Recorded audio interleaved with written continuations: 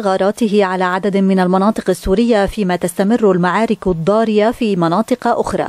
وفي جديد التطورات الميدانية الخميس قتل 28 جنديا نظاميا على الأقل في هجمات شنها مقاتلون معارضون على حواجز عسكرية في شمال البلاد.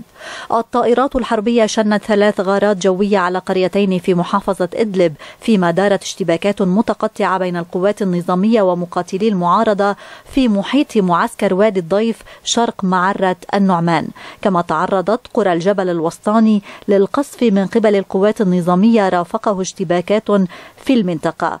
وفي ريف العاصمة قصفت طائرات مروحية منطقة الحجر الأسود ما أدى إلى سقوط جرحى وأغارت على بلدة زملكة ما أسفر عن انهيار مبان عدة وخسائر بشرية. كما قصفت طائرة حربية محيط حرستا في ريف دمشق. كذلك استمرت المعارك في بلدة حارم على الحدود مع تركيا التي يحاول مقاتلو المعارضة السيطرة عليها منذ أسبوع.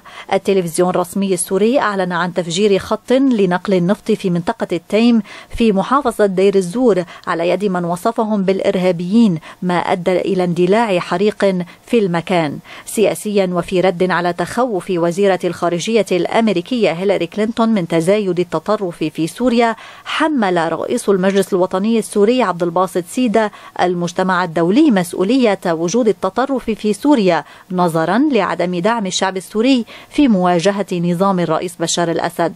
وأوضح سيدة أنه في المناطق المحررة من أيادي النظام هناك حال من الفوضى والإحباط لأن النظام ما زال يقتل بشكل جنوني وفي مثل هذه الحالة طبيعي أن يتواجد التطرف من بعض العناصر كما قال.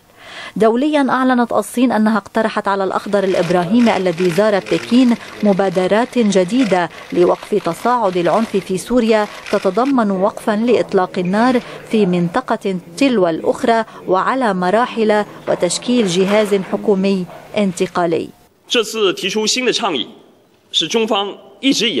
المبادرة الصينية تهدف إلى دفع الأطراف المعنية في سوريا قدما نحو تنفيذ وقف مبكر لإطلاق النار وإنهاء العنف وإطلاق عملية انتقال سياسي يقودها الشعب السوري في موعد مبكر.